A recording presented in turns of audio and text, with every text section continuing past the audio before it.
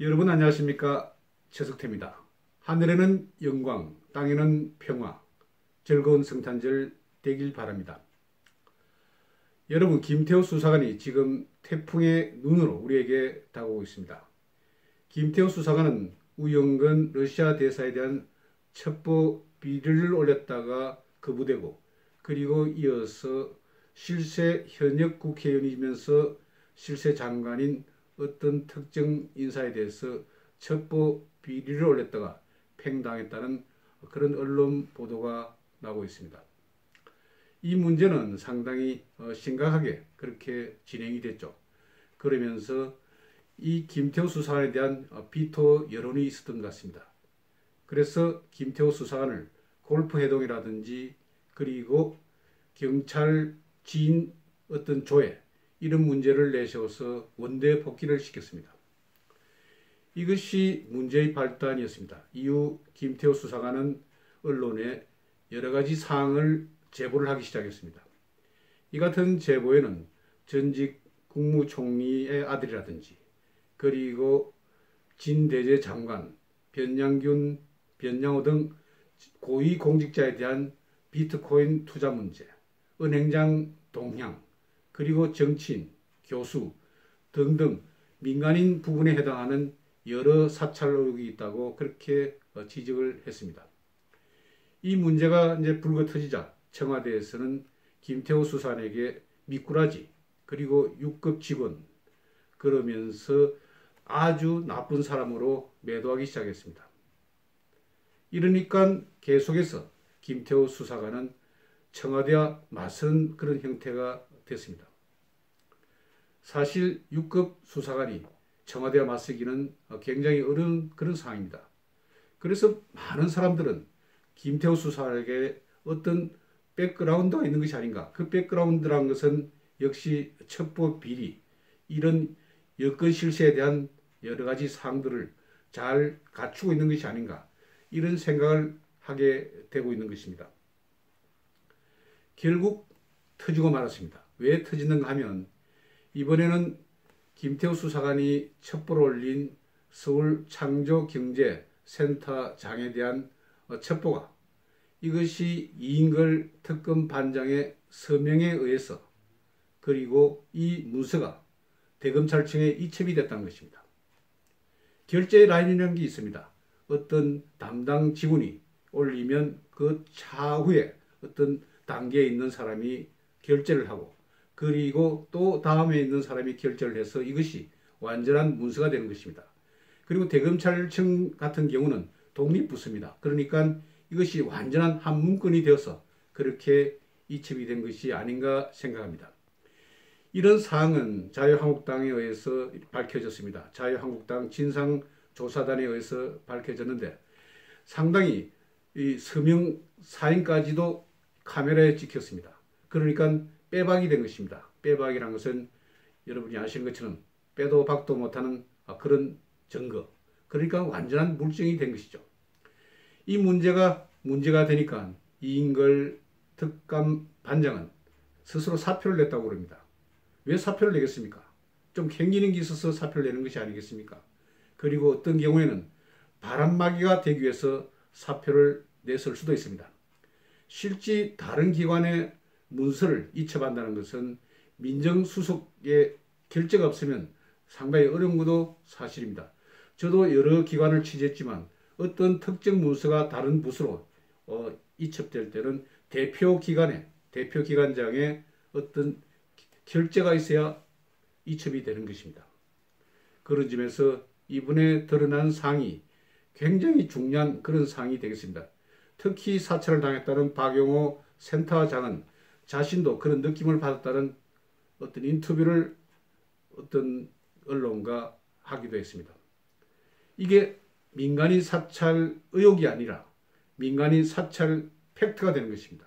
그러니까 의혹에서 진실로 그렇게 바뀌는 것입니다. 여러분 생각해 보십시오. 이재수 전 기무사령관 왜 스스로 목숨을 끊었습니까? 민간인 사찰 의혹을 했다는 그 의혹만으로 검찰에 무자비하게 수사를 받은 거 아닙니까?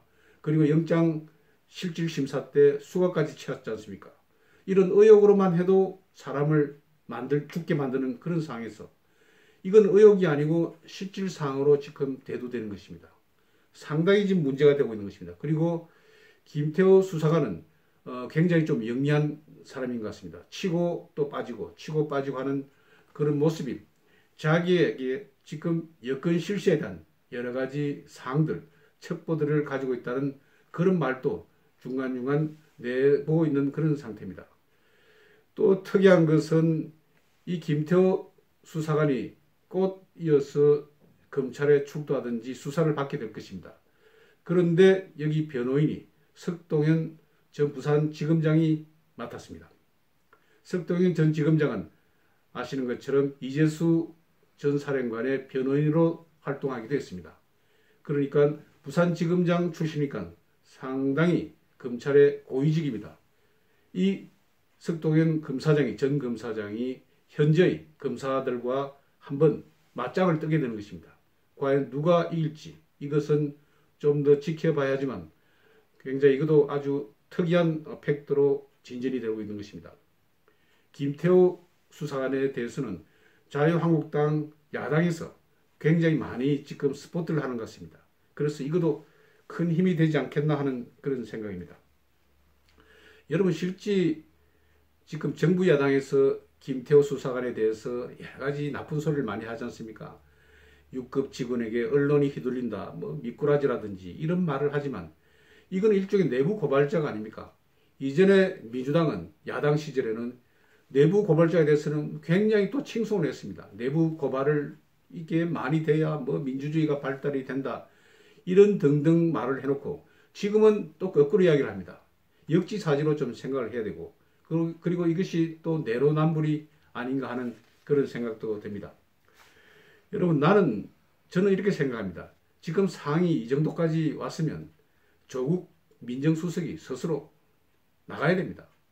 그래 해야 문재인에 대해서도 어떤 부담감을 들게 할 수도 있고 그렇기 때문에 막는다 누가 이것을 사퇴하는 것을 막는 그런 형태를 하더라도 스스로 사퇴를 하는 것이 저는 맞다고 봅니다. 또한 같은 라인에서 비서실장도 임종석 비서실장도 스스로 물러나는 것이 바람직하지 않나 이렇게 생각합니다. 여러분 이게 실세 장관에 대한 그런 첩보라든지 그리고 현역 지금 여건에 있는 상당 부분에 대해서 김태우 수사관이 정보를 첩보를 가지고 있다. 이런 말이 나오는 것도 어떤 화약고가 지금 되지 않겠나. 이것이 계속해서 터져 나갈 경우에 지금 그렇지 않아도 지지율이 많이 떨어지고 있는 현 정부. 지금 어떤 언론기관에서는 앞전에 31.6% 지지로 그 떨어졌다는 그런 보도도 있었습니다. 이게 여론조사기관 공정이라는 데서 발표한 것인데 뭐 갤럽이라든지 리얼미터라든지 친여 여론조사 기관에서는 아직도 40% 윗선으로 지금 이야기하고 있지만 실제 어떤 상이 될지는 정확하게 측정하기는 상당히 어려운 것이 아닌가. 그래서 체감적으로 이 정부가 많이 지금 인기가 떨어져 있구나. 그리고 저도 이제 길에서 친구라든지 만나면 아주 실망한다는 소리가 그대로 지금 터져 나오고 있습니다. 그러면서 손가락을 날리고 싶다든지 촛불 집회까지 참석했는데 이게 뭐냐 이런 등등 그런 이야기도 많이 듣고 있는 것입니다. 제가 볼 때는 나경원 의원이 자유한국당 원내대표가 된 이후에 상당히 이제 공세를 좀 취하는 것 같습니다. 저는 좀 그렇습니다. 이게 김병준 지금 비대위원장이 있지만 그 사람은 이전에 노무현 정부의 책사였지 않습니까? 그런 사람이 야당의 비대위원장으로 있다는 것도 좀 의심스럽고 그리고 지금 나경원 원내대표와 같이 서로 어떤 연결이 잘 되고 있는지 이런 것도 좀 의심스럽다는 생각입니다. 지금 보면 나경원 원내대표, 자유한국당 원내대표와 조국 민정수석이 서로 공격과 방어를 지금 하고 있다는 그런 생각입니다.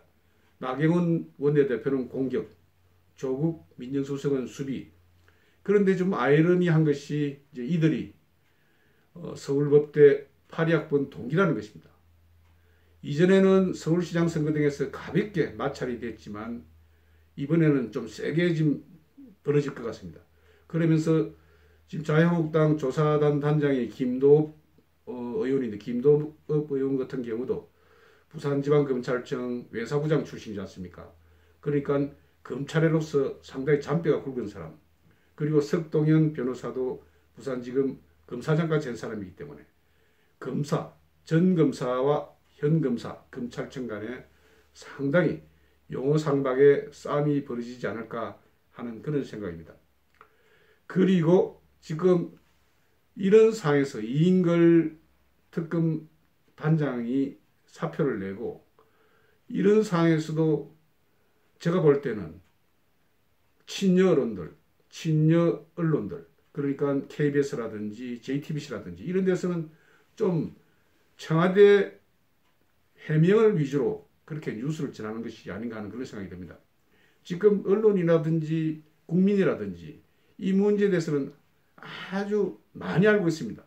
그러니까 허튼 그런 행동을 벌이면 그런 보도를 내면 국민들이 벌써 이걸 눈치를 챕니다. 굉장히 이 문제에 대해서는 많이 알고 있고 그리고 어떻게 돌아가는 것인가 그런 생각도 하고 있습니다. 왜냐하면 문재인 정부가 뭐 적폐청산이라면서 많은 사람들을 잡아넣고 수감하고 또 감옥에 보냈지 않습니까? 이런 상황에서 자기들은 이렇게 해놓고 그러면서 남들은 압박하고 이런 게 너무 표리부동하다는 것입니다. 정치라는 것은 신뢰가 떨어지면 제로입니다. 지금 문재인 정부가 계속해서 지지도가 떨어지는 이유가 이런 신뢰도가 많이 떨어지고 있기 때문에 이런 결과가 빚어지는 것이 아닌가 생각합니다. 제가 볼 때는 김태호 수사관 그리 만만한 사람이 아닙니다. 6급 수사관이지만 이 사람이 18년간 공직 생활을 했습니다. 그리고 김태호 수사관이 이렇게 지금 처절하게 싸우는 이유가 이 어떤 경우 언론에서 보니까 이 사람이 자기 부인은 그냥 전업주부고 자기가 어 그냥 혼자 벌어서 그렇게 생활한다는 그런 그 이야기가 있었습니다. 이게 18년 해서는 공무원 연금에 그렇게 해당되지 않기 때문에 20년까지 쳐야 공무원 연금을 받지 않습니까? 그래서 이 정부에 대해서 처절하게 좀 맞서는 것이 아닌가 이런 생각도 해봤습니다. 이 사람이 쉽게 그리고 한 사람을 단칼로 친다 해서 마무리되는 것은 아니라고 봅니다. 김태우 수사관 상당히 머리가 있고 그리고 언론도 좀 잘 다루는 것 같습니다.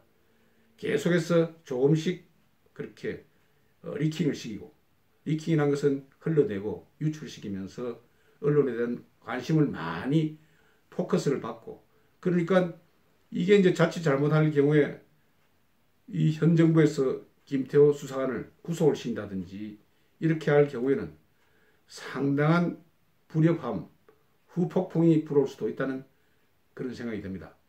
오늘은 김태호 수사관에 관한 여러 가지 사항들, 여러 가지 파열음들 이런 것에 대해서 말씀을 드렸습니다. 여러분 좋은 성탄절 보내시기 바랍니다. 감사합니다.